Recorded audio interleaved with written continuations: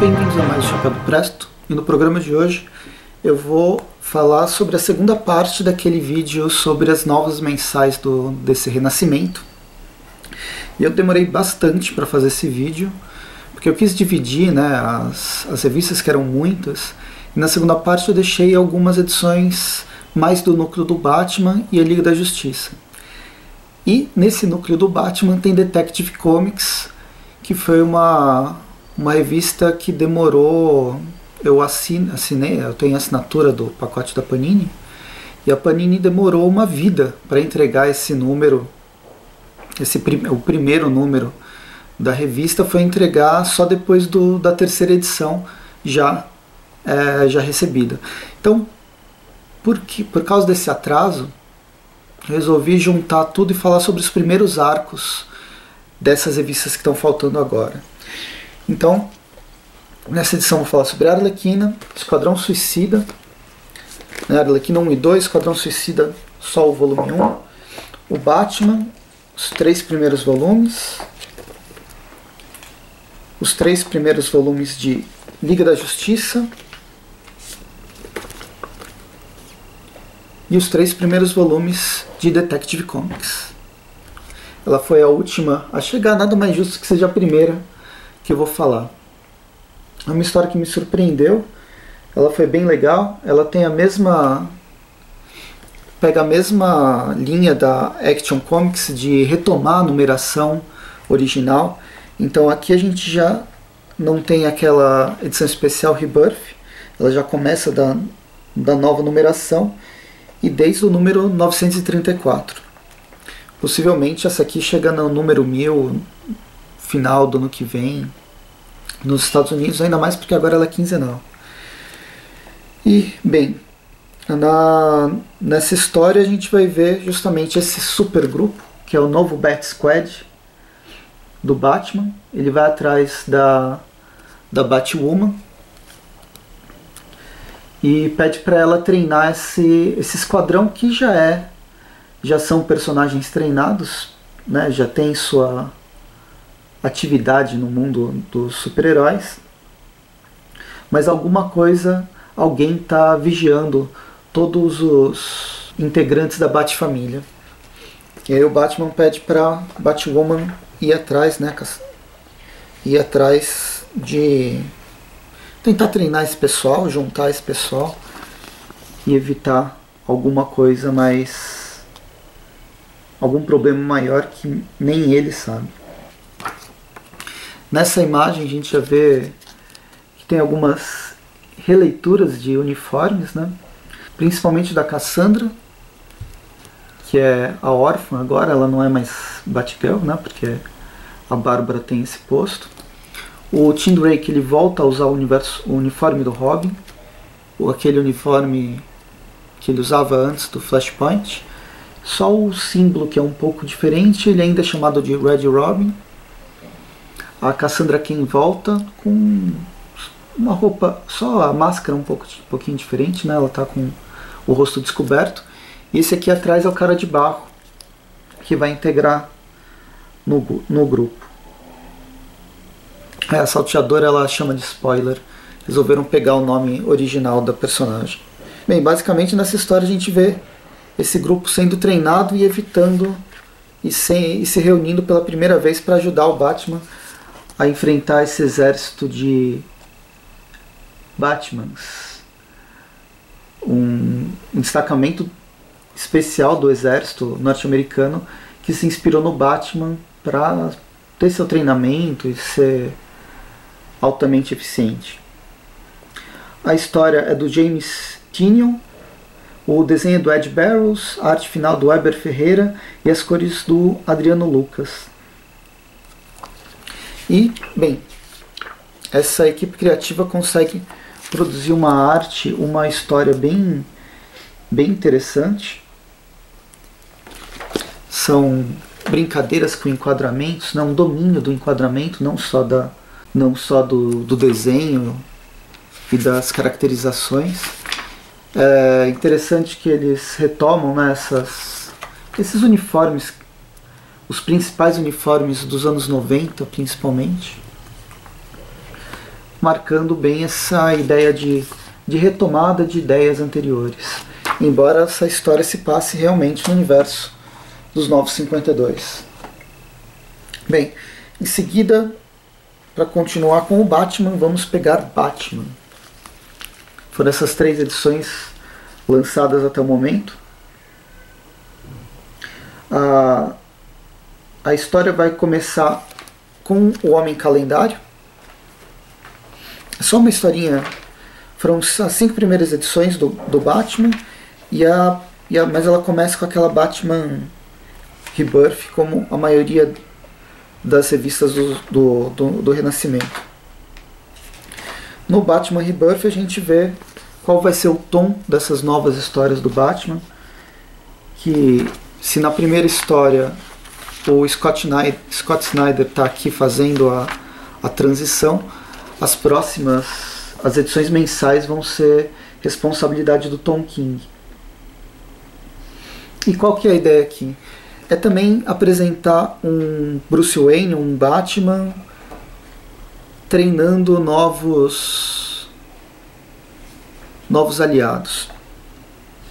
O aliado principal que ele vai focar aqui é uma tentativa, é um novo Robin, que ele não quer chamar de Robin, mas é um, um ajudante diferente, que é o Duck, que apareceu no Guerra dos Robins. Ele vai usar esse uniforme.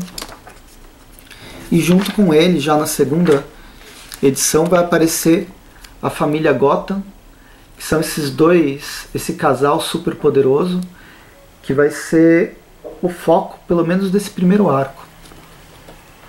Basicamente, o que Tom King é, conta nesse primeiro arco de histórias, ele explora dois seres super poderosos que seriam análogos do Superman e da Supergirl e conseguem trabalhar esses dois personagens que têm os mesmos ideais do, do Superman e tal, mas explorar eles de uma forma que não poderia explorar com o Clark, que é subverter o ideal escoteiro e colocar, é, explorar algumas experiências mais pesadas, mais drásticas, onde esses irmãos vão vão chegar até as últimas consequências.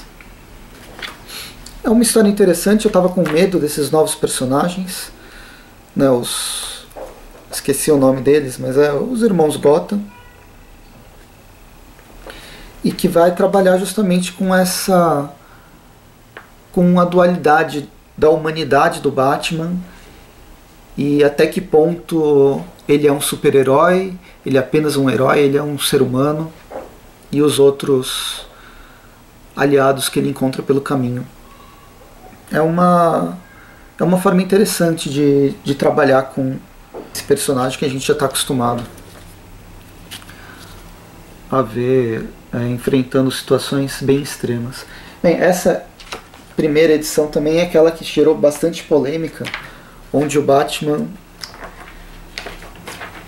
ele brinca de rodeio em cima de um avião. Mas, por mais que tenha sido criticado, tem uma certa explicação uh, bem convincente do que acontece aqui e de como ele sobrevive. Então, acho que vale a pena. A arte é do Mike Jenny e as cores da Johnny Chung. Eu destaco bastante essa colorização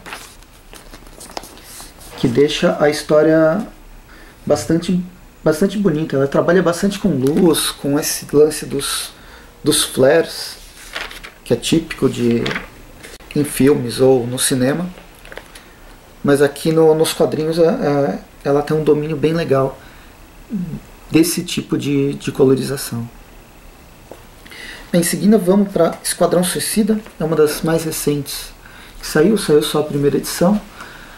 Como vocês podem ver, ela é bem baseada no filme, é a mesma equipe que vai para o filme. E, bem, o, o roteiro do Robbie Williams é bem preguiçoso, assim como o filme. Não é tanto, porque o filme realmente do ano passado foi muito ruim. O Esquadrão Suicida ele se superou na ruindade.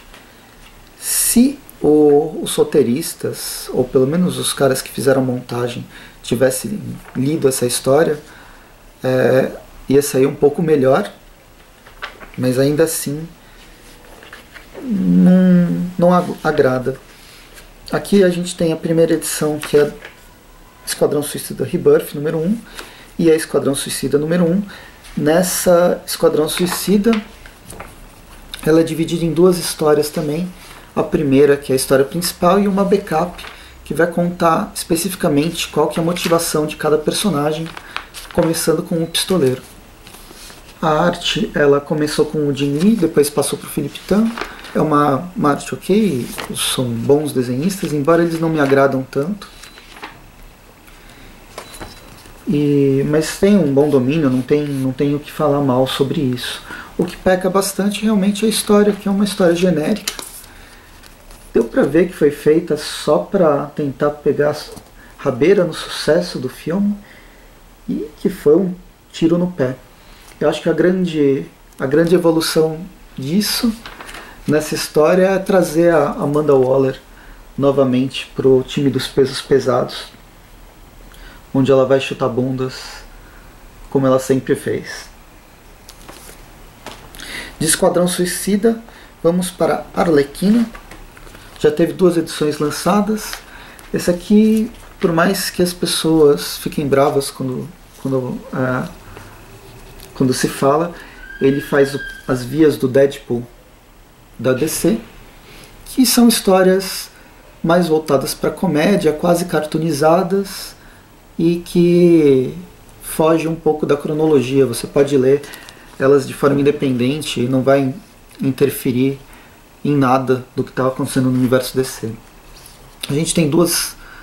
São dois arcos. O primeiro arco contando que é a, a, a recolocação da personagem na história é da Amanda Corner e do Jimmy Palmiotti, as cores do Chad, do Chad Herdin, a arte e as cores da Alex Sinclair. E a gente tem o primeiro arco com a Arlequina lutando contra zumbis que vieram do espaço. São pessoas que se transformaram em zumbis porque comeram a carne da JBS. Ela tinha sido, além de papelão no meio da carne, ela tinha também pedaços triturados de um alienígena que transformou todo mundo em zumbi. E na segunda história a gente tem que é uma historinha bem pequenininha, elas 108 milhões de formas de morrer, ela enfrentando uma empresa de operadores de telemarketing. Desnecessário. Essa aqui vem na minha na minha assinatura, mas é uma que eu vou vou vender depois, juntar as 12 primeiras edições quando acabar a assinatura que eu, que eu faço e vender para alguém, porque é um personagem que realmente não, não me chama atenção, eu não gosto. E para fechar o vídeo, vamos falar sobre Liga da Justiça. Também saíram três, três números, três edições até agora. Ela, ela vai reunir os, o principal time de heróis do universo DC. É, que a gente tem Superman, Mulher Maravilha, Batman, o Aquaman, o Flash, e aí, no caso, Lanterna Verde, é, o Hal Jordan ele saiu né, na revista do mensal, como eu já, já disse. Então tem os dois novos lanternas. E o Cyborg, que é um dos principais personagens da DC, da, da Liga da Justiça, pelo menos, desde os Novos 52. Ah, e o Superman, ele ainda está como participação especial, porque ele é o Clark Kent do pré-Flashpoint, então tanto ele está se adequando ao novo universo, quanto os personagens estão se adequando a esse novo Superman, que eles ainda não, uh, não confiam. Os desenhos são do Tony Daniel, a arte final do Sado Florer e as cores do Tommy Murray, com os roteiros do Brian Hitch, que já fazia uh, os roteiros da JLA, que era a Liga da Justiça uma revistinha da Liga da Justiça que tinha uh, antes do, do Renascimento, que vinha ele, uh, só ela e Cyborg, E basicamente, a, a princípio, eram histórias da Liga fora da cronologia, mas elas foram assimiladas para a cronologia, onde eles enfrentaram o deus é, kryptoniano Hal. E, e aqui eu não sei por que é, assimilaram essa história, porque o Brian Hitch ele retoma, na verdade ele repete a mesma ideia de invasão alienígena que ele já contou naquelas, naquelas edições, nessas primeiras da Liga da Justiça Renascimento.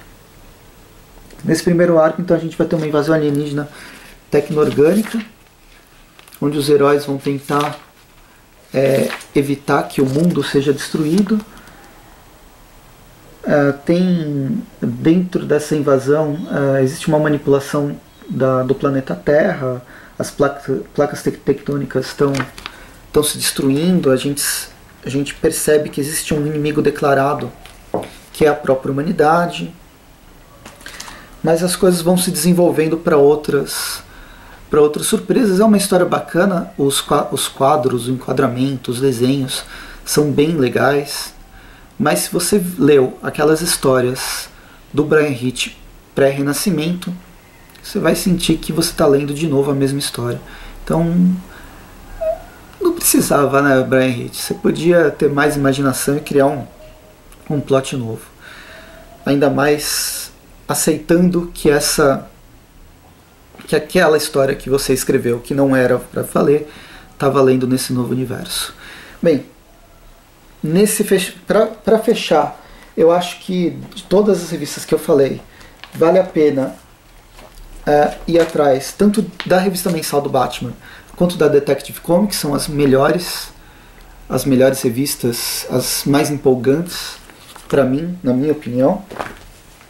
Liga da Justiça é aquela coisa, são personagens interessantes, mas que é um repeteco do que já foi contado. E Arlequina e Esquadrão Suicida, eu acho que vale a pena passar longe. Não vale a pena ir atrás desses personagens, a não ser que para vocês tanto faz o universo DC, porque isso aqui não faz parte desse universo. Então, é isso. Vou fechando as minhas os meus comentários sobre as novas mensais. Eventualmente posso, eu posso voltar com um vídeo falando sobre arcos que eu tenha gostado. Eu ainda tenho alguns vídeos. Já saiu um sobre uh, uma outra mensal que é do Grandes Astros Batman, que é, um, é uma mensal, mas é uma max série, então eu deixei ela separado. E tem ainda a revista dos Titãs, que ainda não saiu, então não quis atrasar mais ainda. Uh, a subida dos vídeos. Vou deixar ela para um, um vídeo à parte. Espero que tenham gostado. Curtam o vídeo, comentem é, o é, que, que, vocês acham dessa nova fase, o que, que, vocês acham dessas revistas, desses primeiros arcos. É, assinem o canal, leiam Tapioca, Tapioca Mecânica e a gente se vê no próximo vídeo. Bons quadrinhos.